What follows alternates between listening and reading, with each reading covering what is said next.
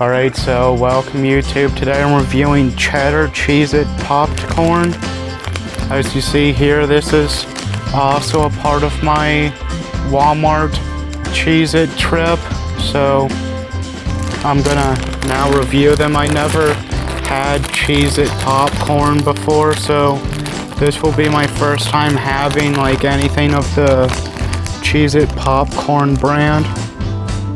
As you can see here, it's just popcorn with some flavoring on it.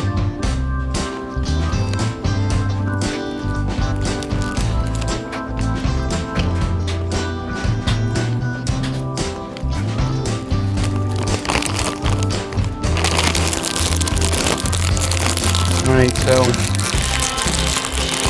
these do taste good.